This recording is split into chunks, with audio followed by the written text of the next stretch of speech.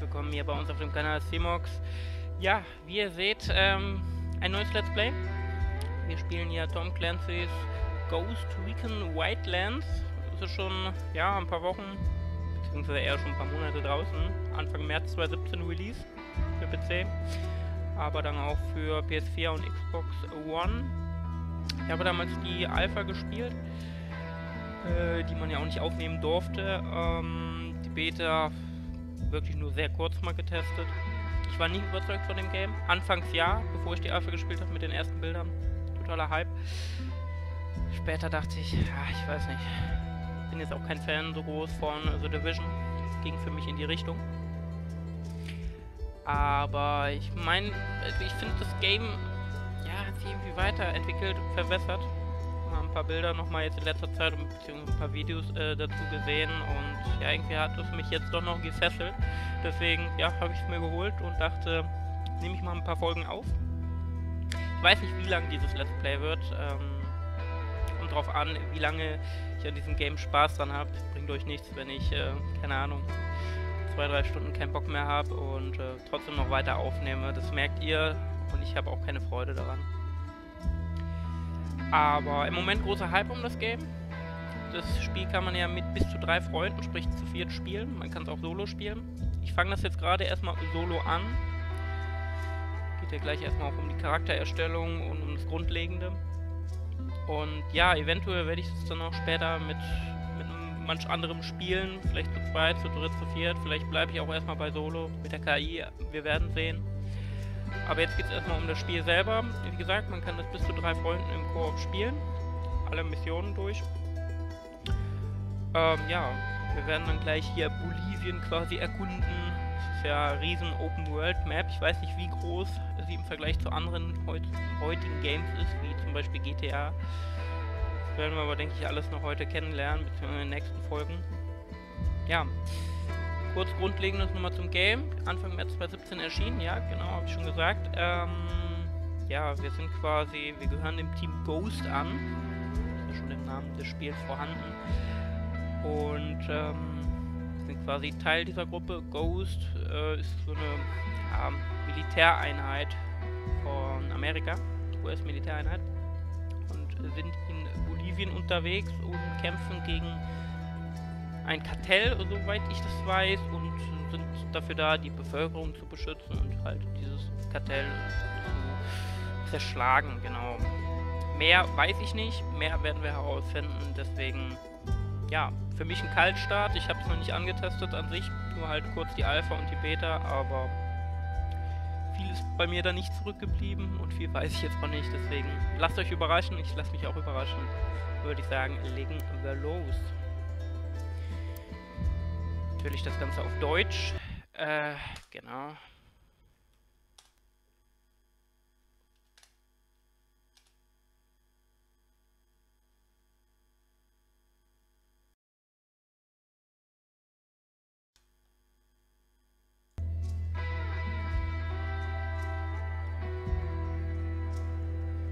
So. Ich weiß es gerade nicht, ob der jetzt meinen Charakter von damals behalten hat. Oh, habe ich erstmal eine Community-Herausforderungsbelohnung erhalten. KT Neptun, was das auch immer ist. Ja, online, schön. So, erstmal die Einstellungen. Ähm, kann mal beim Audio schauen. Ich glaube, ich drehe das mal gerade ein wenig runter.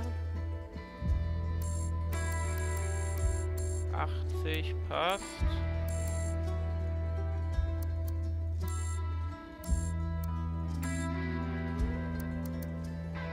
Ansonsten, ja, ich stelle mal alles auf 80. Schauen wir mal später, wie das im Verlauf klappt. Anwenden, genau. So, Grafik äh, sollte passen. Ist, denke ich mal, alles direkt gut eingestellt. Das können wir aber später auch noch anpassen, also von daher mache ich mir da jetzt gerade keine Sorgen. Genau. So, wir können jetzt eine neue Kampagne starten. Dann können wir Narco Vote DLC, genau. Also ich habe wirklich nur das blanke Game ohne DLCs hier erworben.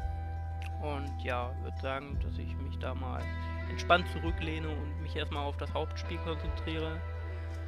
Wie gesagt, ich schaue, ähm, wie weit ich das hier mache. Vielleicht überrascht es mich wirklich am Ende auch noch noch mehr, als ich im Moment äh, Hype habe hier äh, und werde mir dann noch die DLCs zulegen. Aber wie gesagt, ich überrasche mich da. Ich denke ihr auch, deswegen. Ansonsten würde ich sagen, starten wir die Kampagne. Die Bilder sind auf jeden Fall schon mal nicht schlecht. Genau, also anscheinend ist mein Charakter doch nicht von der Beta gespeichert. So, ähm, klar, wir wollen männlich sein. Geschl... äh, mal Gesicht jetzt erstmal, ähm...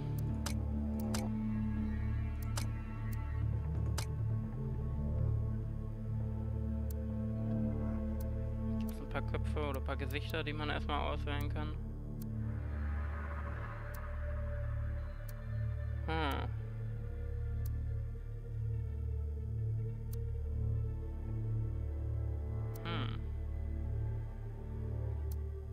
Snake? Nee.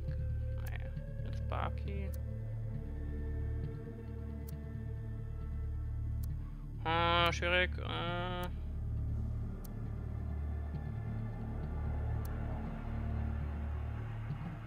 Ich nehme den Snake. Äh.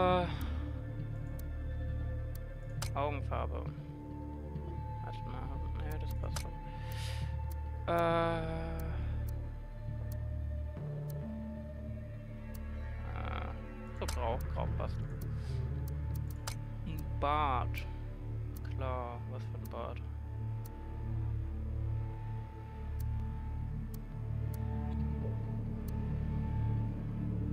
Hm. Geschäftsmann passt. Haare.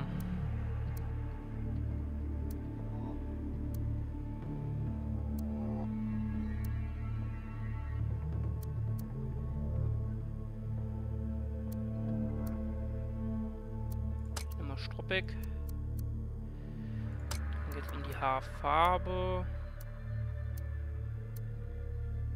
Hm, Braun passt glaube ich schon. Gesichtsdetails. Äh, Rasiermesser.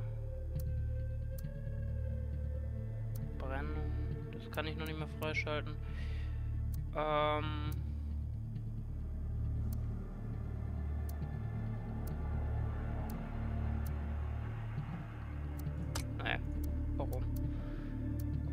Genau.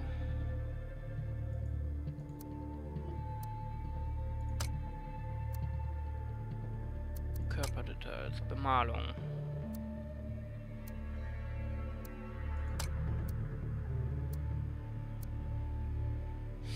Kann hier nur zwischen den dreien Bemalungen wechseln.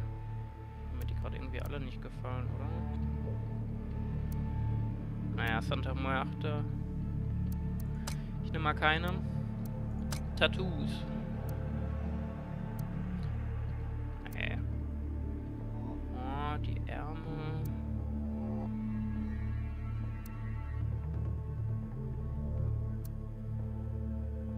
Santa Maria. Ich nehme Santa Maria. Linker Arm. Ja, das finde ich ein bisschen übertrieben. Hat er jetzt auch noch was? Hat. Ah, ein Arm reicht. Kleidung. Tanktop, nee.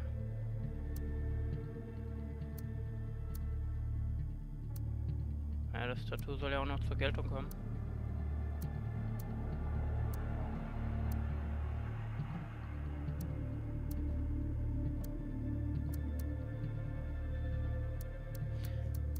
Glaube.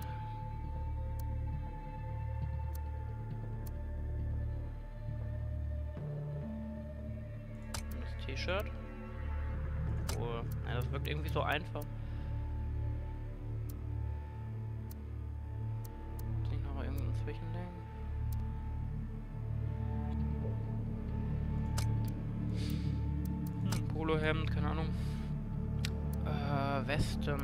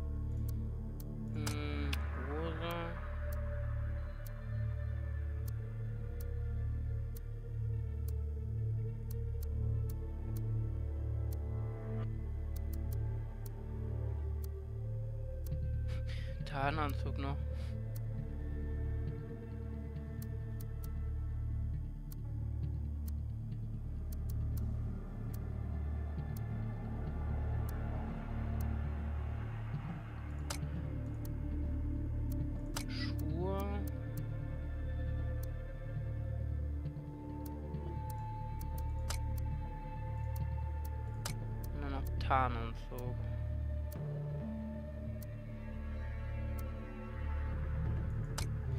Ne, dabei bleibe ich, denke ich mal. Die Farben, ja, ich wollte schon was Grünes nehmen. Ähm, Aussehen, Accessoires, Augenextras, was gibt's denn da noch? Eine Brille.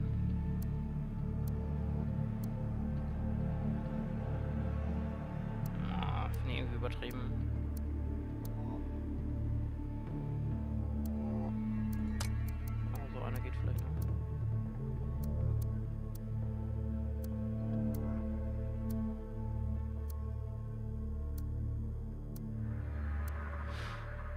Lasse ich das nochmal. Gesichtsextras. Sturmhaube. Bandana. Ah, nee. Da. Ah, doch, so eins nämlich noch. Das passt. Kopfbedeckung.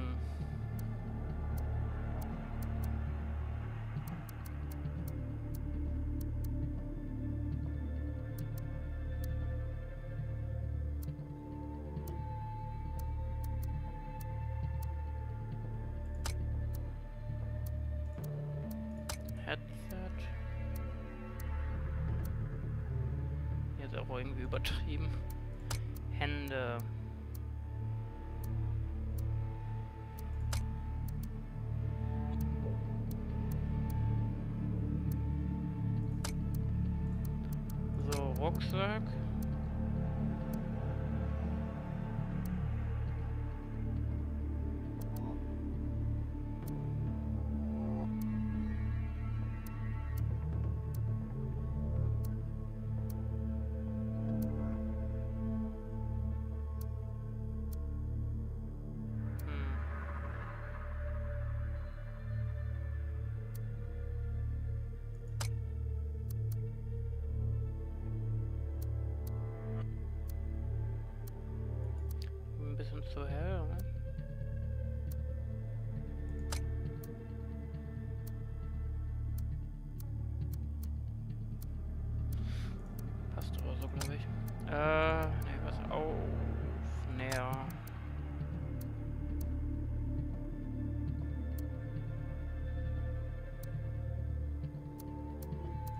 Beim Militär? Äh, ja, vom Militär. Amerikanische Flagge.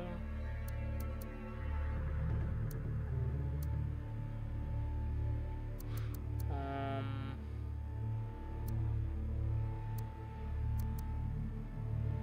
Lassen wir das mal so. Oder gibt es noch was bei sonstiges? Nein. Dann haben wir das durch, genau, aus. Speichern wir das mal. Äh, ja, ich will das fortsetzen. So. Schwierigkeitsgrad. Sie können die, Schw die Schwierigkeit jederzeit im Pausenmenü anpassen. Ähm. Arcade wollen wir natürlich nicht. Auf einfach nicht jetzt gerade. Ich denke gerade normal.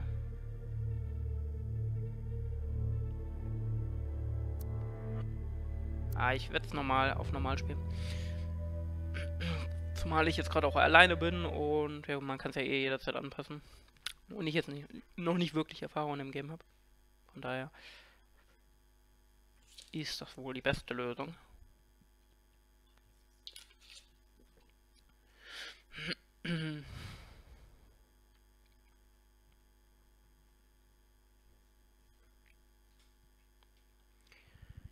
Mal schauen, wie es jetzt losgeht.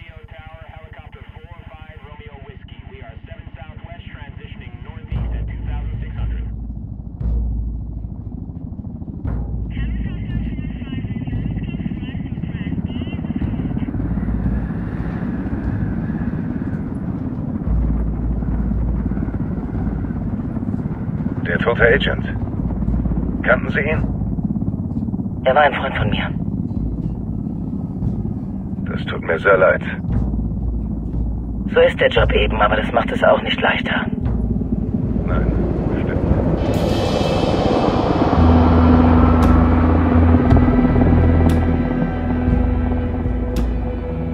Sie sind wohl schon länger hier. Ich lebe als Karen Bowman, die Entwicklungshelferin, mittlerweile seit etwa fünf Jahren hier. Ist ein hartes Leben, aber undercover komme ich ganz gut klar. Wenigstens haben Sie einen Heli. Wie bist du ins Land gekommen? In der Business Class von Manaus. Bin erholt und einsatzbereit. Ich kam per Anhalter von Barranco in Peru her. Was ist mit dir? Ich komme mit dem Bus aus Jujuy in Argentinien. Habe extra bis Villazón durchgesoffen, damit man mich in Ruhe lässt auf der Fahrt. Das erklärt, warum du so stinkst.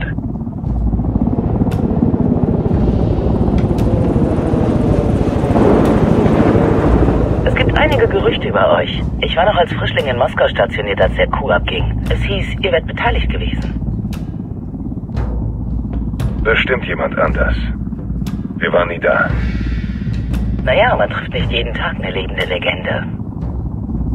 Sagen Sie das mal meinem Kind.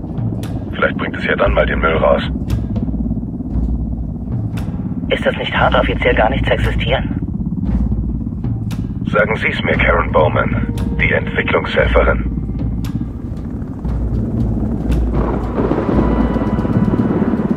Und Sie haben sicher den ganzen furchtbaren Scheiß gesehen, zu dem Menschen fähig sind, wenn sie nichts zu befürchten haben. Aber eins sage ich Ihnen. Egal wie sehr Sie sich abschotten, sich abhärten, auf El Sueño sind Sie nicht vorbereitet.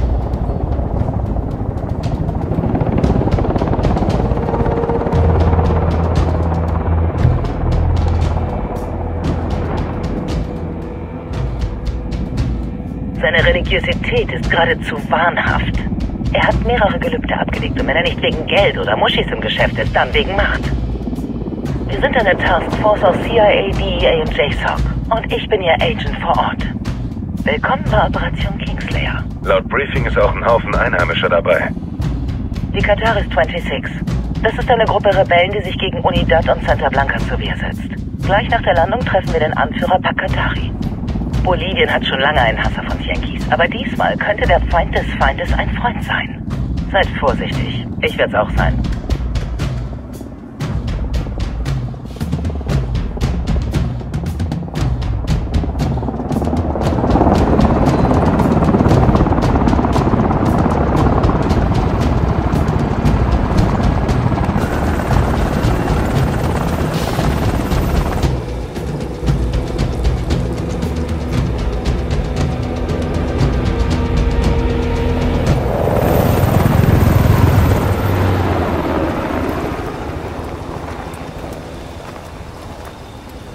Soldaten. Ist das etwa die Hilfe, die Sandoval versprochen hat? Ein toter Yankee? Und ihr schickt eine Handvoll Soldaten? Hunderte Bolivianer sterben durch Santa Blancas Kugeln. Wo soll ich hunderte Kämpfer hernehmen? Die Amerikaner sind gar nicht hier, klar? Diese Soldaten sind die beste Einheit, die unserem Land zur Verfügung steht. Diese vier werden unsere Armee sein. Kennen Sie das Wort Hybris, Senora Bowman? Pakatari, Anführer der Widerstandsgruppe Kataris 26. Wir arbeiten jetzt gemeinsam an der Zerstörung von Santa Blanca. Die Gruppe kämpft bereits seit sechs Jahren gegen Santa Blanca und Korruption. Wir werden uns absprechen. Dafür bleibt keine Zeit, denn wir wissen, wo Amaru ist. Amaru, Sie haben ihn. Amaru ist einer der Gründer von Kataris 26. Mehr als das, die Gruppe stützt sich auf seine Ideen. Und ohne seine Theorien über das Landproletariat gäbe es keinen Widerstand gegen Santa Blanca und die Korruption unserer Regierung. Er muss gerettet werden. Wenn Sie uns jetzt beistehen, werde ich ihm mein Vertrauen schenken. Wo ist er? Das wissen wir nicht sicher. Nur, dass er in dieser Provinz ist und dass es einen Santa Blanca-Leutnant gibt, der es genau weiß. Ich werde die ISA anfragen. Vielleicht können Sie Informationen aus dem Funk abfangen. Suchen Sie diesen Leutnant und halten Sie mich über Satellit auf dem Laufenden. Gute Jagd. Die Rettung Amarus ist wichtig für unsere Sache. Bitte töten Sie den Santa Blanca-Leutnant nicht, bevor Sie ihn verhören können.